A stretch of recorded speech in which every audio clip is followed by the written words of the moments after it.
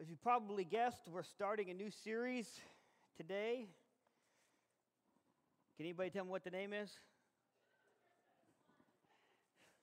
God's Messenger. I'm glad some of you weren't asleep. So, as uh, some of you have already um, probably noticed, typically around October ish, somewhere in there, we typically uh, take up a harvest offering. And uh, we have not actually spoken a lot about that. We've sent out a couple of emails um, concerning it, saying that uh, it's still happening, but we haven't said a whole lot. And some of that has to do with the fact that this whole COVID thing throws everything out of whack. And, um, and some of that is some of the reason we haven't commented about it yet is because we're, we're doing things a little differently with harvest offering this year. Um, I've said this in the past. Uh, if I tell you that we're taking up an offering for something specific, that's where that money is going to go. So uh, this year, what we're going to do with a harvest offering is we are in much need of parking. How many can say amen to that? How many people have to walk more than a block to get to church? I do because I walk to church, but that's. So, what we're going to do is this empty lot over here is we're going to pave that and make that into parking. And we're estimating that we could probably get somewhere around 18, 18 parking spaces over there. To do that, it's going to cost quite a bit of money. And so, all of the um, uh, harvest offering that people give is going to go directly to that. Um, it's going to cost uh, somewhere about $60,000 to level all that off, put in the drainage that we need to put in, and, and, and get it uh, paved. Um, the, the board has decided that some of, the mon- some of the money that we have in a savings account is going to go toward that. Um, and then we're going to try and raise the rest of it. And so we're looking at trying to raise about $40,000 for that. Uh, some people, some pastors will say, you know, it's going to cost about $2,000 a parking space. So if you give $2,000, you're buying yourself a parking space. I don't do that because I might want to park in your parking space. Just be real, all right? Um, what I want you to do is I want you to pray about what God wants you to do. Because it's not about how much anybody, any one person gives, it's about how much God wants you to give. You're the one who's supposed to be obedient. If God only has you, everybody in here give a total of $10,000, He'll somehow raise the rest of it. That's what God does. I'm not worried about it. God will take care of it. What, i what I want you to do is I want you to be obedient to what God has called you to do. And so, um, what, how we're going to do this is we are not going to be able to pave that until um, at the earliest, uh, the beginning of spring. And so, between now and then, if you have a harvest offering that you want to give, just put it, put it in an envelope, write harvest on there, and all of that, all of those funds will be put aside, and, um, and it'll all go toward uh, the paving of the parking place. Now, if for some reason God uh, does a miracle and we raise more than it costs to pave that, whatever is over and above that cost is going to go right back into our mortgage, which is what a harvest offering usually goes to. So I just wanted to I just want to tell you where we're at with our harvest offering. We're still we're still going to do it. There's no one day that we're going to say this is a harvest offering Sunday. Just go ahead and get. But if you have an offering you want to give for the harvest for the for the um, paving of a uh, nice new parking lot, just put harvest on it put it in the envelope, put in the offering, and um, uh, I know I, I, when I get here on Sunday mornings, there's usually not very many cars in the parking lot. But if you go out, um, if, you're, if you get here a little late, you're not going to find a parking spot. You're going to have to walk. And I want to I wanna, I wanna help with that. And I think as we continue to grow, we've been growing, and as we continue to grow, we're going to need that parking, that parking area. And so um, there's that. I just wanted to pass that information along to you so you know where we're at with the harvest offering, what it's going for, and you know, one of the things that I like to do is I like to throw a challenge out there and see what God's going to do about it.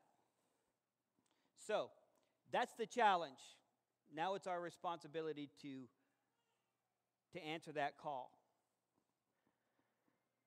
So when I was in junior high, it was just a few years ago, I, um, I played football in junior high. And I think it was probably, I was probably around 12, 12 or 13, no, 13 or 14.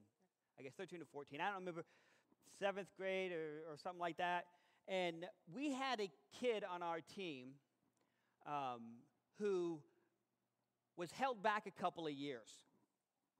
And he was bigger than the normal kids his age. So I was I was 13 and he was 2 years older than I was. So he was 15.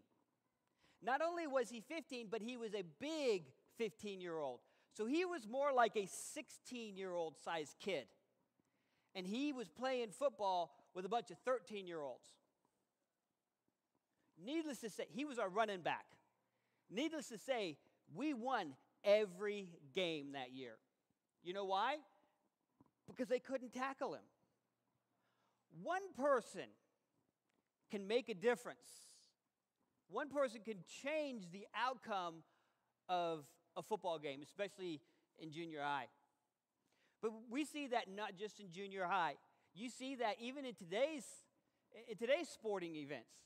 One person on a football team can change that football team. One person on a basketball team can change that basketball team. Um, I'm not a huge LeBron James fan. Um, I just I, I think he, he, the the things he stands for um, are not first of all are not conducive to um, America moving forward.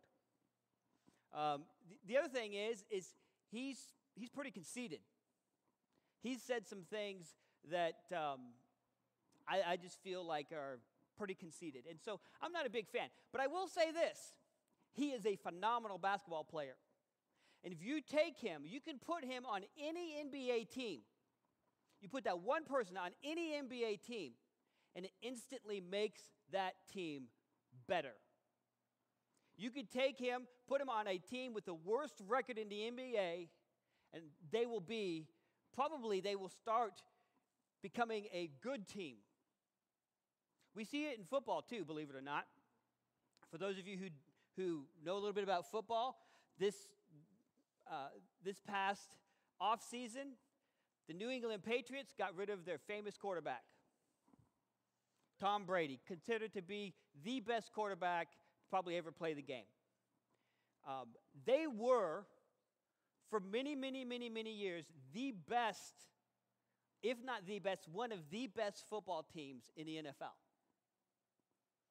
Now, without Tom Brady on the New England Patriots team, they, have, they don't even win half of their games. Now, where did Tom Brady go?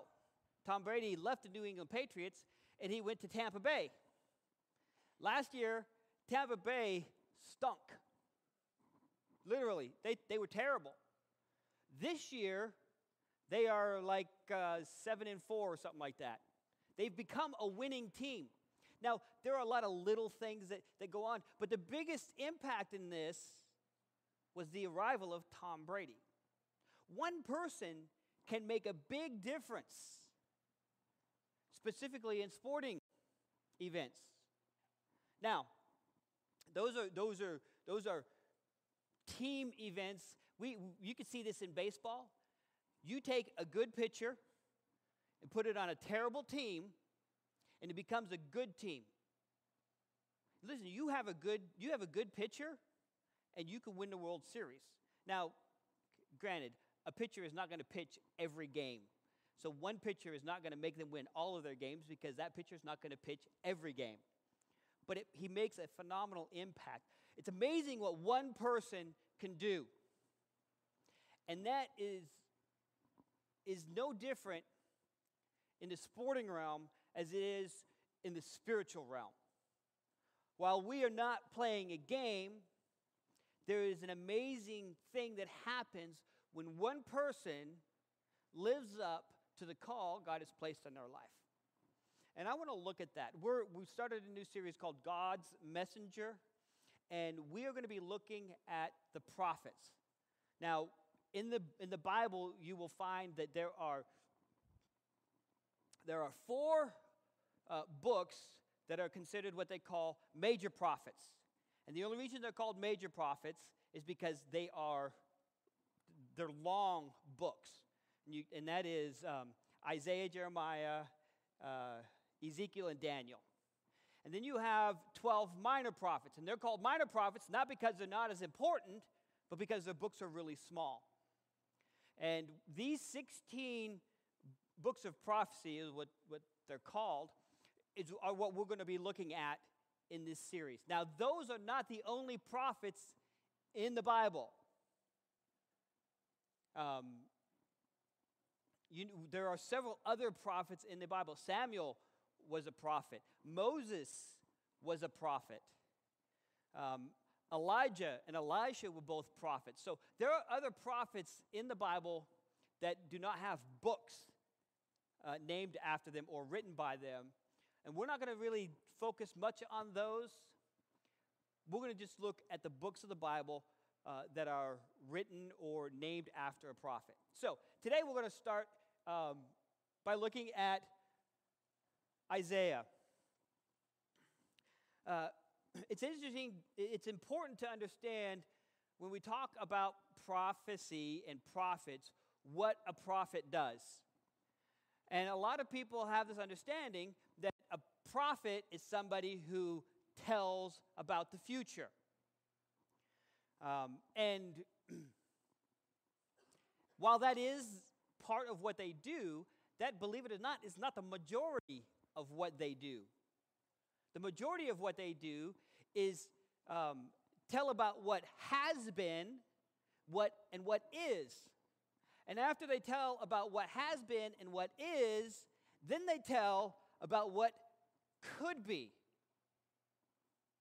So for Israel, uh, and, and we see this in Isaiah, the first five chapters of Isaiah, we see Isaiah telling uh, Judah and Jerusalem how terrible they are, how they've abandoned God. So the first five books, and then even chapters 7 through 12, the same kind of thing. What, what Isaiah is doing in these chapters is he's telling Israel, not, or Judah and Jerusalem, not the future. He's telling them how bad they've been in the past and how corrupt they are now. And so when we look at prophecy, when we look at prophets, it's not just about the future. Oftentimes, the future comes up because of what they have already said about the past and the present. Now, there are some times where they, act, they actually just talk about the future. Um, Daniel is one of them, and we're going to look at the book of Daniel. It, it, it, the book of Daniel is really amazing when it talks about the future.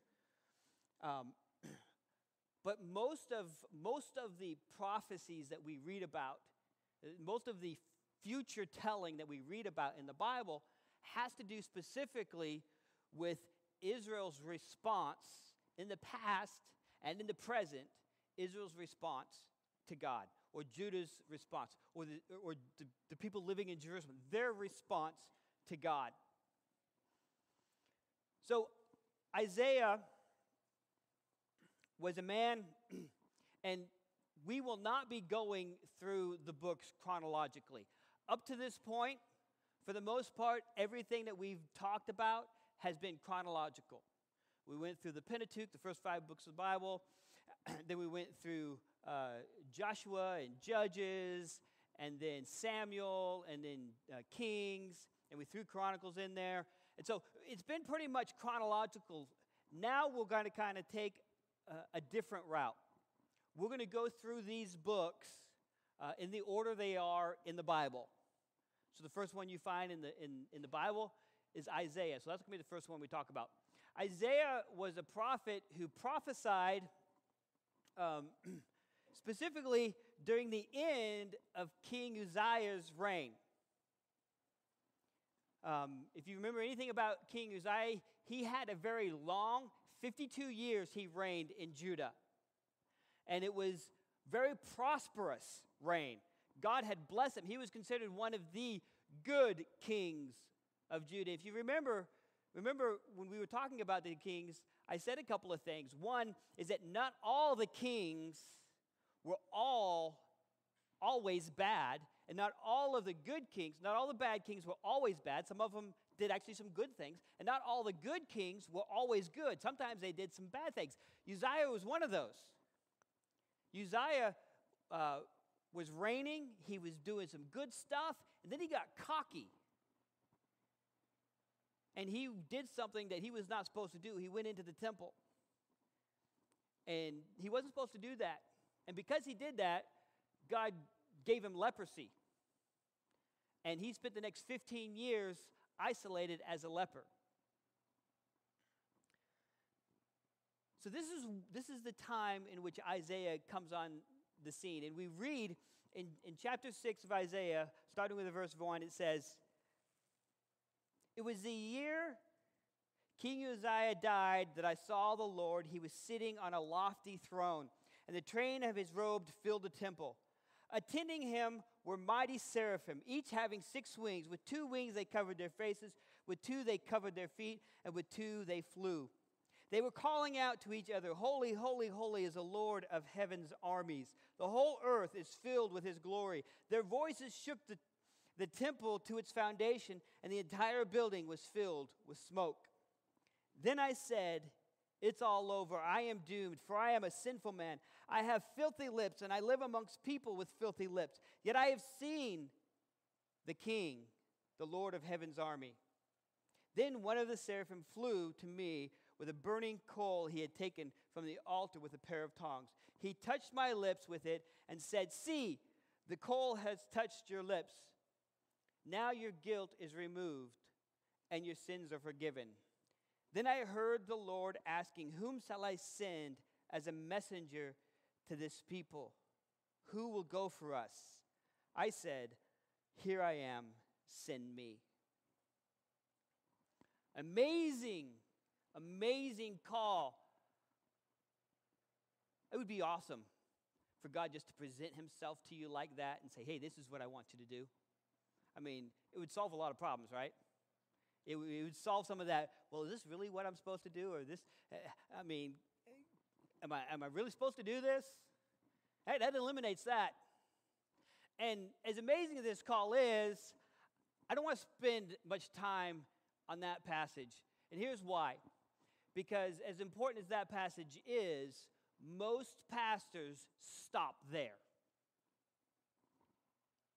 And the second part of chapter 6 gives some insight into what Isaiah was really, what God was showing Isaiah he was going to have to go through. And I want you to get to that. But before we get to that, I want to highlight just a couple of things. One, um, there are three things in this passage that I want to look at real quick. One is that in verse 1, it says, It was the year King Uzziah died that I saw the Lord. Okay, look in your Bibles. If you, if you have your Bibles, it says the Lord.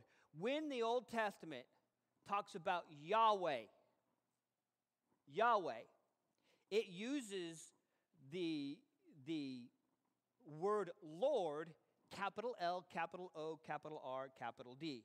Correct? Okay, if you don't know, it is correct. I was right. But here, if you look in your Bibles, it says, I saw the Lord, capital L, lowercase o, lowercase r, lowercase d. So he, wait a minute. Okay, well, well who's, who is this?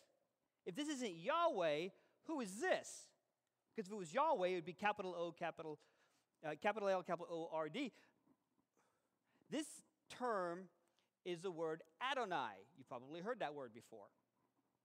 And it is referring to God in a different sense.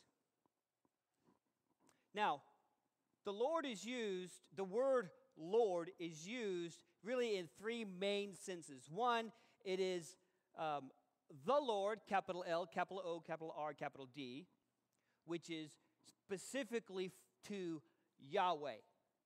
Then you have the Lord, capital L, lowercase o, R, D, referring to Adonai, which, if you read some commentators, many of them believe that that specifically re- refers to Jesus in the Old Testament, even though his is not say Jesus. And then there is the Lord, but you, well, it's not really the Lord. It's usually his Lord, her Lord, my Lord, which is lowercase l O R D. And that is just a human being who is your master. So in the Old Testament, you'll read Sarah in referring to Abraham, she will say, My Lord. It was a, it was a, a, a respect that, that wives showed their husband. And it was just Sarah, it was most of the women in the Old Testament addressed. Or a, a slave to their master would say, My Lord. And so those are the three main ideas behind Lord. One of them is for Yahweh, one of them is for Adonai, and one of them is attributed to humans who um, are shown respect by people who are under them. Another case for Jesus in the Old Testament, many people believe, some people are doubters, but I don't care about the doubters. So, um, something else that I thought was interesting when I was reading through this, and I don't have time to ex- expand a whole lot on all of these things, but it's interesting that when the angel went, the seraphim went and got the coal and took it back to Isaiah, touched his lips. And I had, a, I, I, for a long time, I had an issue with this because um, it was not just what he said that made him sinful, it was also what he did. And I had, I had a, I really wrestled with the idea why is it that he was just coming and touching his lips? Why didn't he just rub that coal all over his body? Because let's be honest, our whole bodies are sinful. But again, this is an, an imagery that we're seeing. And um, Jesus is, or what, what God is showing Isaiah is that uh, kind of what Jesus says it is from your heart that comes out of your mouth. The mouth is just speaking what's within the heart. And so when the coal is coming and touching the lips, it is, it is, it is a heart issue. And if you've heard me speak, you know I, I, I stress this. God cares more about your heart than your actions because He knows that your heart will change your actions, but your actions rarely ever change your heart. The last thing in verse 8, he says, Then I heard the Lord asking, Whom shall I send as a messenger to this people? Who will go for us? First, he uses the singular, I, then he uses the plural, us. Well, does he not know who he is? I, us, us, I. Um, well,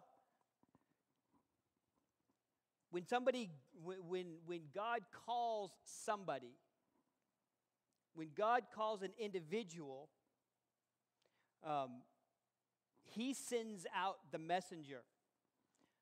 While he sends them out, they are representing the Trinity as a whole. You are sent out by Yahweh, but you represent every part of the Trinity. And, and a lot of people um, use this as a strong fact that the Old Testament supports the idea of the Trinity, even though we don't see necessarily Jesus's or, or God's Son listed in the Bible.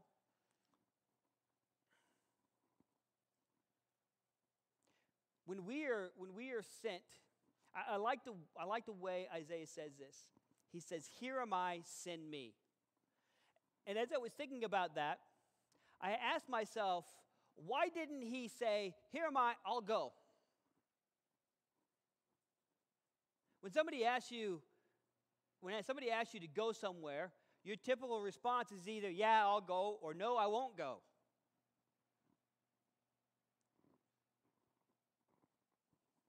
I was, um, if I had, if I had for some reason, um, the church needed to send somebody, say, to Hawaii, right? Okay. For some reason, the church needed to send somebody to Hawaii. We need to send somebody to Hawaii. Anybody in here say, send me? Yeah? Um, I think we, eh, we all would say that. I, I know I, Jeanette and I are already planning about when we are going to go back to Hawaii. We went on our honeymoon, it was awesome. Uh, we're going to go back. It'd be nice. Somebody else paid for it, but it's probably not going to happen either. So, but we, we all say, hey, send me. There's a big difference between I will go and send me. And though we sometimes don't really grasp the idea, there is really a difference between the two. I'll go focuses on the person making the decision to go. Send me focuses on the person be, that is sending, not the person being sent. When, you, when we talk about I'll go, it implies an inactive second person. When you say I'll go, that the focus is completely on the person who is going. But when it says send me, the focus is on the person who is sending, not the one being sent. And so the, the, the choice of, of words, and, and in the Hebrew, there is a difference between the Hebrew word I'll go and the Hebrew word send. So it's not like you could have, could have interchanged those in the English. You can't.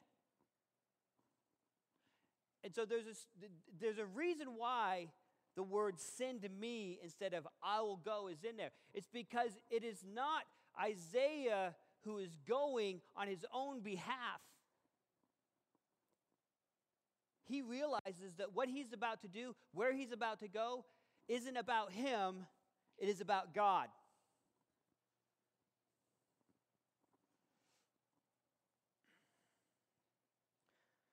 With I'll go, self is a motivating force Whereas with sin me, the one who sins is the motivating force. Who motivates you to do what you do?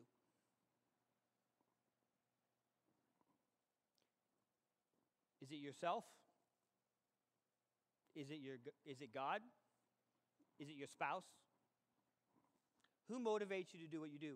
And, and it, it's important to know that because if God is the one motivating you to do what you're going to do. God never changes. If it is yourself, let's be real, we're all wishy washy. You like that technical term, wishy washy? We are. We are. Sometimes we're highly motivated. Sometimes I get up in the morning and I, I get to the office and I get everything done I need to get done by 11 o'clock. Sometimes I'm laying my other days I lay down at night thinking, I just did not get enough done today. God's not like that. And so we need to understand that our motivating force needs to be God. We need to say, Send me. And here's why because we can only reach our destiny when we are sent by the one who knows our destiny. We can only reach our destiny when we are sent by the one who knows our destiny. So you want to be, you want to reach the, the destiny that God has for you, allow Him to send you. Don't just say, I'll go. Allow Him to send you. But there's a, there's a, there's a, there's a, a catch, I guess you could say, in this, and that is that when we are sent, we must also understand that we must have an attentive heart and mind. If God's going to send us, we need to listen to what God is saying when He sends us. Because if we don't listen, it's easy to make a mistake. Okay, how many people in here, maybe you're, you're online, you can raise your hand if you're sitting at home too. I can't see it, but for dramatic effect. How many people in here know Shenandoah really well? Raise your hand up high. Okay, so follow me. If I was to tell you, or tell somebody who doesn't know Shenandoah very well, if I want to tell them how to get to Walmart, I would tell them, okay, you get out on this road out here, 6th Avenue, okay, you're going to go this way, you come to a stop sign, you're going to turn left, you're going to follow that road all the way down to the stop sign, you're going to turn right, you're going to follow that all the way down to the light. You get to that light, you're going to turn right. You're going to follow that to the next light. You're going to turn another right. And where's that going to take you? Into the parking lot of Walmart. All right? Here's what happens if God's giving you direction and you don't pay attention. You might miss turning left uh, you might miss by turning right instead of left or left instead of right. So, so God made it very clear, but you weren't paying attention. So you you get out on 6th Street and you go this way and you come to the stop sign and you, yeah, he said turn left. I'm going to turn left here. And you go down to the next stop sign and and this is where you weren't quite paying attention. So instead of turning right, you turn left. And you turn left and you follow that road you're to go a long ways before you hit a red light. I don't even know if you will hit a red light on that road. I haven't been down there very far, but I know it's I know it's a long ways. You see, when God sends us, if God tells us to do something, He sends us somewhere. We got to be willing to go, but we have to pay attention. Otherwise, we won't reach the destiny that God has set for us. Now, I'm thankful I'm thankful because when we do make those mistakes, when we do make a wrong turn, God's great at getting us back on course. He doesn't let us just wander off out into no man's land. When he sees that we took a left instead of a right, he'll either have us do a U turn or he'll have us go down to the stop sign take a right, go to the next stop sign, take another right, go to that stop sign, and not a, a, a, straight left, but a curve to the left, and then we'll follow that road down. If you know where I'm at, it'll take you to the, to the red light, and then you go right, you take another red light, and then you're in the Walmart parking lot again. That's what God does for us. Now, did I confuse anybody completely from all that? you see, God wants to send us. But, but along with sending us, we have to be attentive in our heart and our mind to the directions He is sending us. In a, in a side note, God never sends you out to do nothing. God never sends you out to do nothing. So if you have given your life to Jesus and you want to do what He has called you to do, sitting at home watching TV all day is probably not what He's called you to do. Not that TV is bad, and not that sitting at home is bad. But there's always something that He has called us to do. So let's continue. Now, the we know that God says, I want to send somebody. And Isaiah says, Hey, send me. I'm right here. I want to go. Send me. Here's what God says, verse 9, and he said, Yes, go and say to this people, listen carefully, but do not understand. Watch closely, but, do, but learn nothing. Harden the hearts of those people. Plug their ears and shut their eyes. That way they will not see with their eyes, nor hear with their ears, nor understand with their hearts, and turn to me for healing. If you were like me, before I went to Bible college, you were probably thinking God is a cruel person reading that passage. Because it seems to say yeah, okay, you need to go, but but they'll listen, but they won't understand.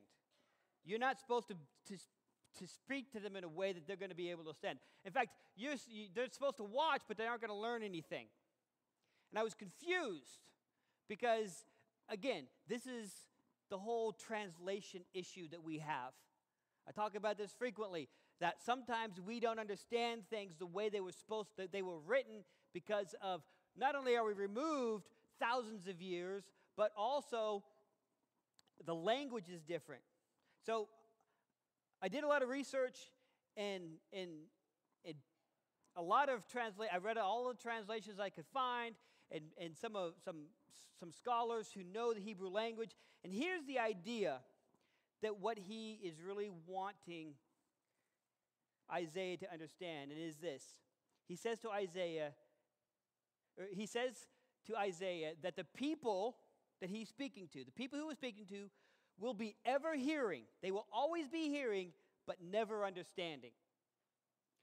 They will always be seeing, but never perceiving. And he tells Isaiah, Your words will make the hearts of this people callous. It will be their ear, uh, it will make their ears dull and their eyes closed.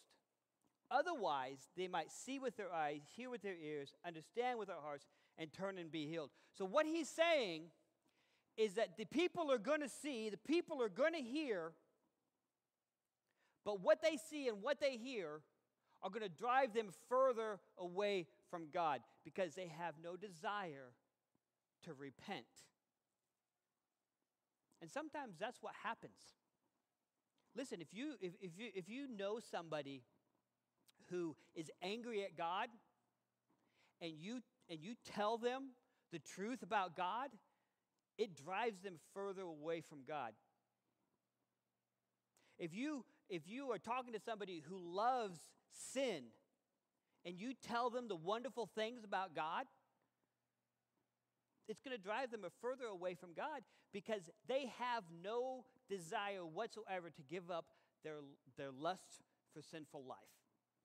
Now, if you talk to somebody who, is, who has just a, a small part of their heart sensitive to the moving of God, saying these things, saying what wonderful God is, how God uh, loves them, will, will, will take that small part of their heart and it will help that part grow two sizes bigger. As in, you guys know what movie that's from, right? There you go. So, you know, when, when God is telling Isaiah to go do this, he's not saying, hey, listen, I want you to go do this, but what you're saying is useless. God never sends you out to do something that's useless. If God tells you to do something, I don't care what you think about it, it's going to be useful. What God understood about the people is that the people did not care at all about God. And what Isaiah was going to do was going to drive them away from God. And we wonder, well, why would God allow that to happen? Why would God send Isaiah to the people if he knew that what Isaiah was going to tell the people would drive them further away from God? Why would he do that? Because the only way that a, a remnant can come is, is, is when the place where the people are is desolate. Let's read.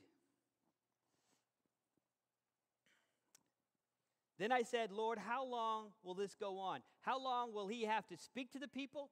And how long will they reject?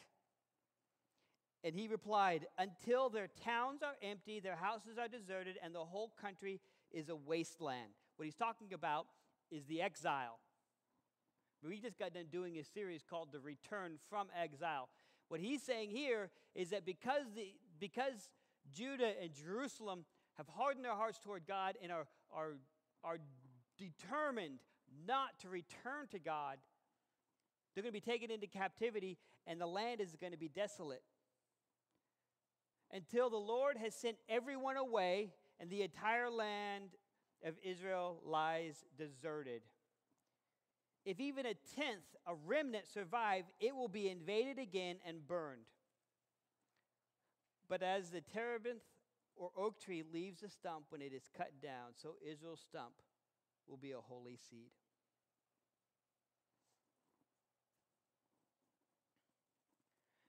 God was not telling Isaiah to speak to the Israelites or to, to Judah and to Jerusalem. He was not telling them to talk to them and, and, and cause them to run away or to, to move away further from God because that's where the story was going to end. He knew that there was going to be something better that comes later on. I have in my backyard, um, close to my house, I have these two trees. and um, both of them I cut down to about that tall. There's just stumps. And um, every spring, that one stump that's this tall has uh, branches growing out of them this tall. And it happens every spring. You would think I'd be smart enough just to grind up the, the stump and get rid of it altogether. But every spring you see the growth come. That's what he's, that's what he's talking about here. That's what he's talking about. The holy seed, the stump that was Israel, is going to be a, a holy seed. These last three verses tell us about God's redemptive plan for his people. And, and that is what is that is what Isaiah was wanting for himself and for the people redemption. The, the, the, the bad part about this, and, and it's going to be the same thing for us, although we might not have to suffer as much as he does. I mean, many, many histori- biblical historians believe that Isaiah was cut in two with a wooden saw. And I don't think some of us will probably ever uh, experience that, but we will experience having to talk to people who are going to either ignore us or dismiss us, people who are going to ridicule us and make fun of us because we are speaking the truth of God. It's exactly what the, the, the uh, Judah and Jerusalem did to Isaiah and many of the prophets. Why? Because these prophets didn't tell people what they wanted to hear, they told them what God wanted them to know. And many times, it wasn't good because people were living in sin.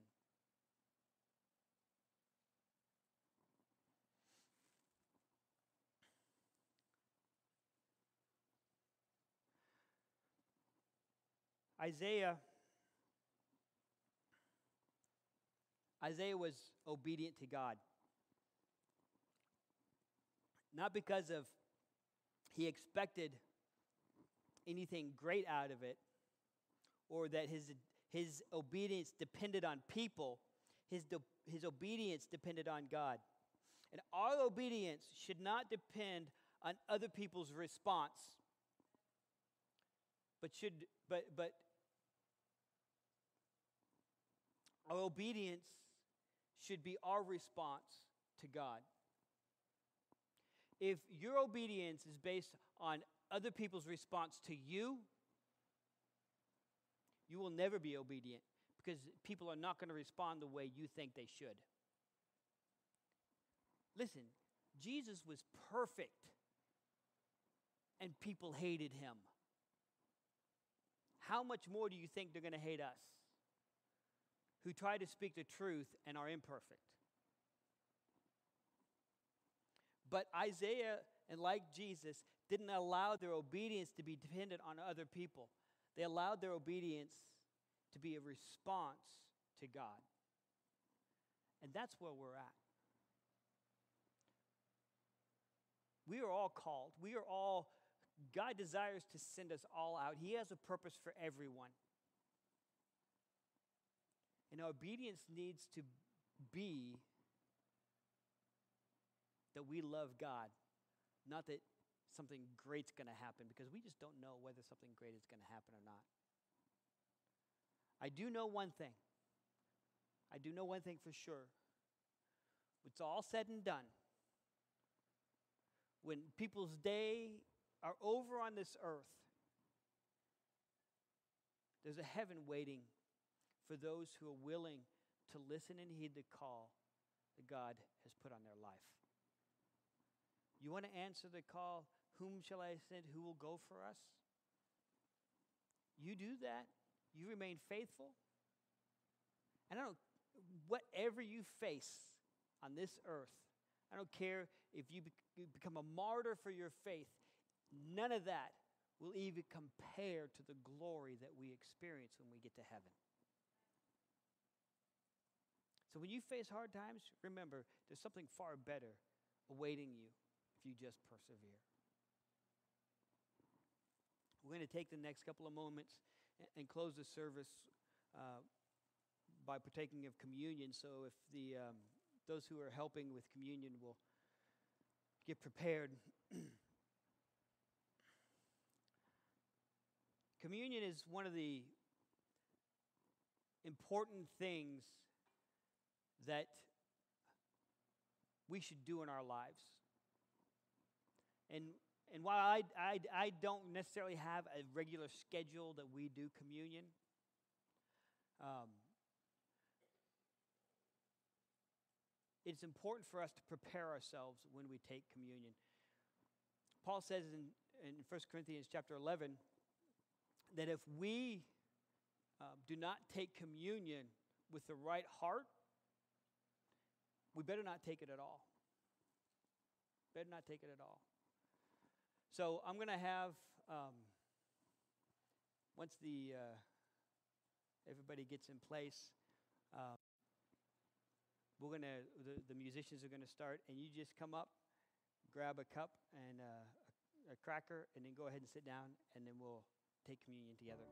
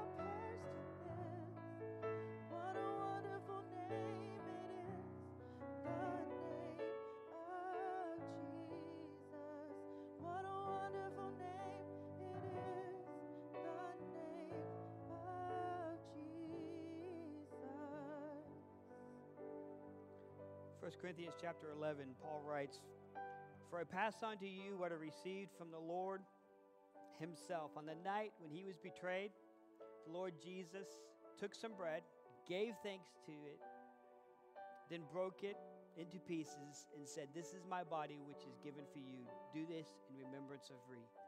Heavenly Father, we thank you for the sacrifice your, your Son gave, the broken body, that we can be saved. Thank you. Let's partake of the bread.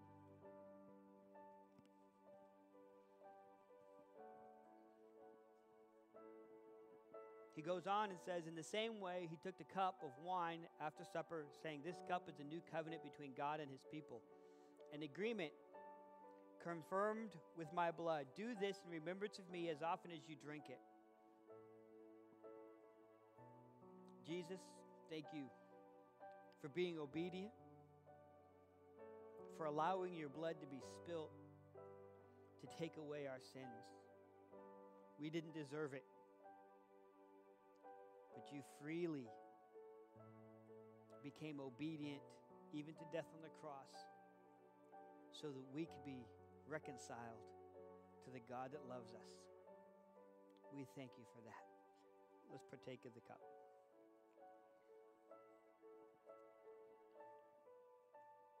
For every time you eat this bread and drink this cup, you're announcing the Lord's death until he comes again.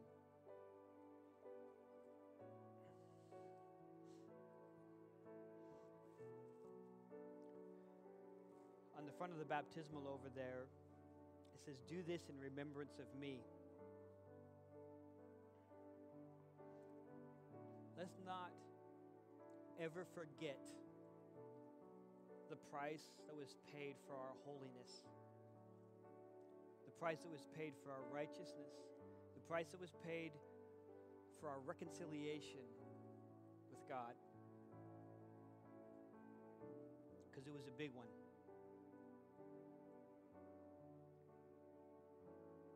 Let's close in prayer. You have called us and desire to send us out. Lord, I say, Here am I. Send me. Be the motivating factor in my life to fulfill the call that you've placed, to reach the destiny you have in place so that I could be the one through your power, through your spirit, and through your direction. That I not only go where you've called me, but I influence people, that I encourage people, that I draw people closer to you, that my life will be a, a reflection of the light and the glory that you send out.